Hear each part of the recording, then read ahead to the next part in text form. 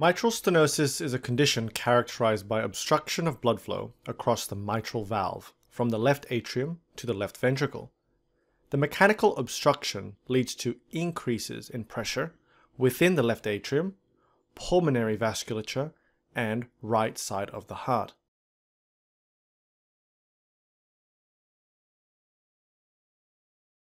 The mitral valve is an atrioventricular valve, separating the atria and the ventricle.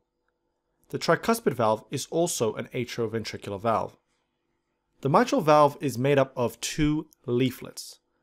The normal area of the mitral valve is 4 to 6 centimeters squared.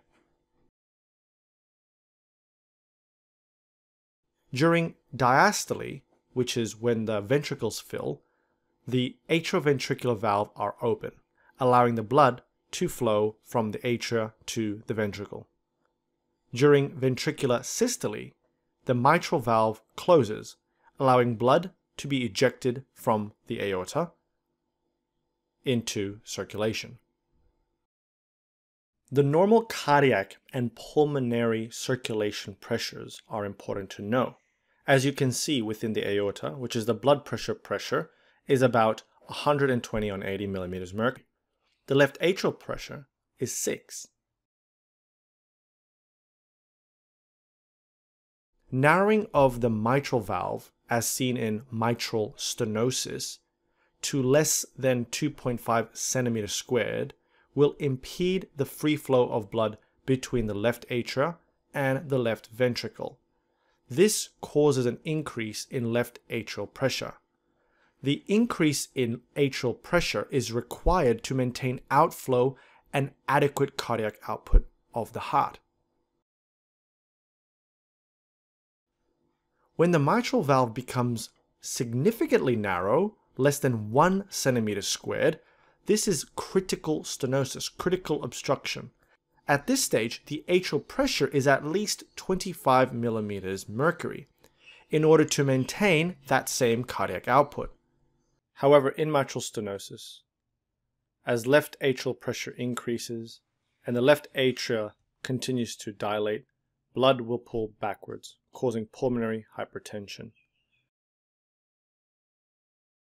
You can imagine blood pooling from the left atria to the pulmonary circulation, causing pulmonary hypertension, as well as pulmonary edema. These changes mimic left-sided heart failure due to the pulmonary edema and pulmonary hypertension. But in reality, the left side of the heart, at least the left ventricle, is functioning normally in mitral stenosis, and cardiac output can be maintained. As left atrial pressure rises, pulmonary hypertension occurs, which can lead to pulmonary regurgitation as well as tricuspid regurgitation, and then secondary right sided heart failure. Right sided heart failure will cause pressure to increase in the venous circulation, so all that blood returning to the right side of the heart can pull backwards, leading to a tender enlarged liver, and then subsequently portal hypertension and ascites, and peripheral edema. Left atrial pressure and the dilatation of the left atria specifically can contribute to atrial fibrillation, as well as stasis of blood in the area stasis of blood increases the risk of thrombus formation and then systemic emboli, which can lead to a stroke. The etiology of mitral stenosis is many. However, rheumatic fever is the most common cause, which will then can lead to rheumatic heart disease. Rheumatic fever is caused by Streptococcus pyogenes, strep throat. Antibodies are then produced. However, unfortunately, there is molecular mimicry between the heart valves and the M protein of strep pyogenes, and this causes a cross reaction and subsequent rheumatic heart disease. Carcinoid syndrome is another cause, and this is due to carcinoid tumors, which is normally associated with tricuspid valve disease.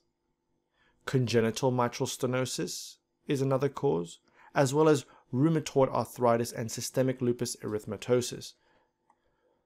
Other rare causes include Fabry's disease, a rare inherited disease caused by deficiency of an enzyme called alpha galactosidase A. Whipple's disease, a rare systemic infectious disease caused by the bacterium Tropheryma whipplei. And this can cause vegetations in the mitral valve, leading to stenosis.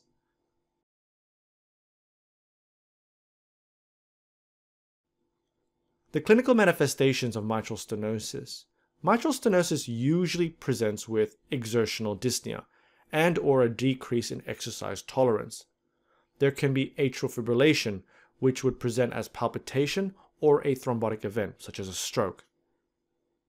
The person may also have symptoms of left-sided heart failure, orthopnea, paroxysmal dyspnea, and fatigue.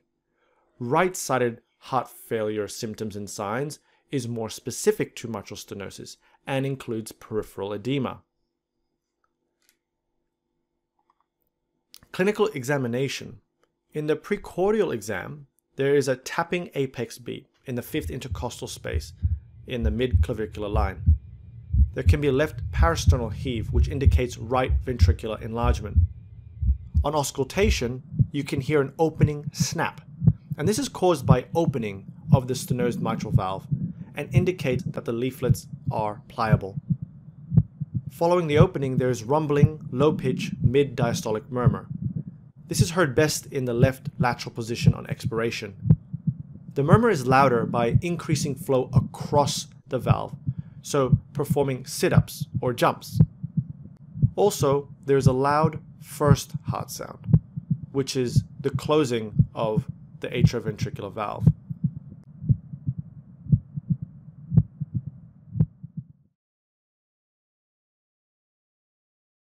Remember signs of pulmonary hypertension, a loud P2 over the pulmonary valve, and right-sided heart failure. So there is a distended neck veins, uh, increased uh, jugular venous pressure. There can be ascites as well as peripheral edema. Remember also signs of left side heart failure. There may be coarse crackles. Malar flush is caused by reduced cardiac output state with associated vasodilation in the face.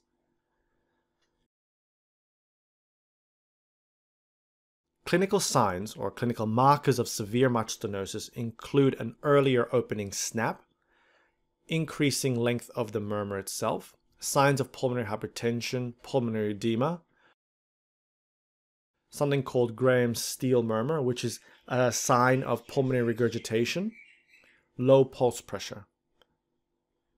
When someone presents with what looks like a malar flush, think about other differential diagnoses as well including hypothyroidism. Cold weather can cause vasodilation in the face, carcinoid syndrome, systemic lupus erythematosus, causing the lupus butterfly rash and polycythemia.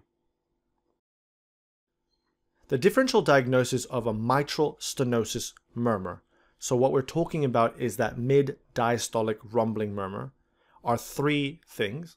The first is severe mitral annular calcification, which causes functional mitral stenosis due to a reduction in the annular size and fibrocalcific changes of the mitral leaflets. Left atrial myxoma, which is a benign cardiac uh, tumor that occurs most frequently in the left atria and can present with symptoms similar to mitral stenosis. And the last is cor triatriatum, which is a division of the left or right atria by a membrane that may cause obstruction to flow.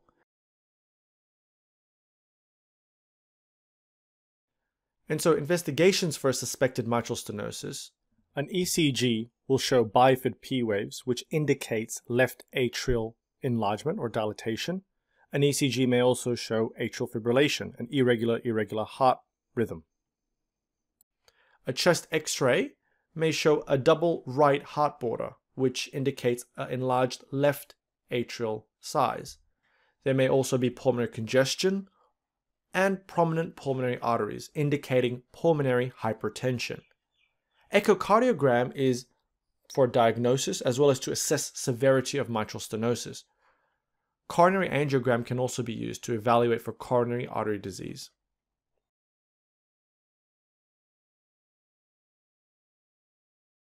Treatment of mitral stenosis include pharmacotherapy, and there are four main medications. The first is anticoagulants, including warfarin. Warfarin is the anticoagulant of choice for patients who have mitral stenosis, and this is specifically to manage atrial fibrillation as well as reduce the risk of systemic embolization. Diuretics, such as furosemide to manage fluid overload, antiarrhythmic agents in the setting of atrial fibrillation, and finally, antibiotics, specifically prophylactic antibiotics, to reduce the risk of infective endocarditis or joint infections in those who have a background of rheumatic fever. Interventions for mitral stenosis include percutaneous valvuloplasty, where they essentially put a balloon in between the mitral valve to dilate it. Open or closed commissurotomy, and mitral valve replacement, which can be mechanical or bioprosthetic.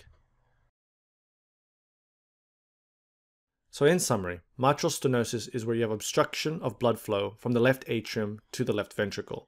It causes a mid-diastolic murmur, and the main cause is rheumatic heart disease. Thank you.